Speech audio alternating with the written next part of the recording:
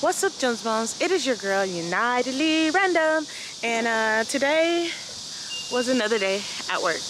Um, just now getting off and headed home, and I was just thinking about life and how I believe I've come to this final realization that all of the things that happened to me were things that I've asked for to happen to me.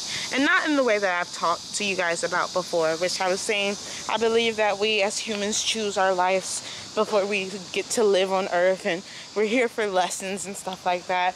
I've always felt like I was here for a lesson, but more so in the way of like, I chose this, okay? I asked for a sign and then when the sign started hitting me, I was like, okay, well, this is uncomfortable.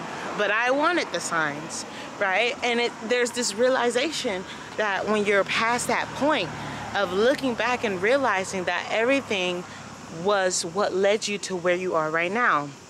Sorry if the lighting is a little bit wonky, but I am sitting uh, outside of my apartment well not my apartment. I'm sitting outside. Um, about to call a uh, car to come pick me up so i can go home. And i've been editing videos and i mean like three videos a day. And again whenever i edit videos i'm not doing much much anything like really special. I'm literally just telling them hey um, hey like i'll put a beginning and i'll put an ending. You know what i mean? And um nothing really special.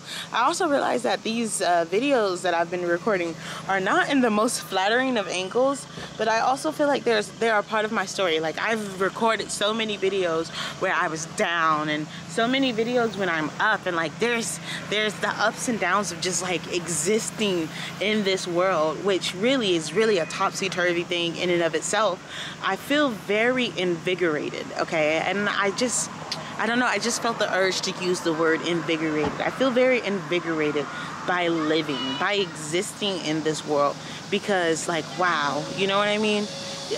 I have that blessing of being where I am and who I am and how I've gotten here. And it's just, it's so amazing to actually be where I am in life. It's so, so amazing to me to actually feel as safe as I feel um, in life. And I just ordered a Didi, and I think the car right in front of me was like, eh, I'm here to pick you up. So I got really lucky on that one.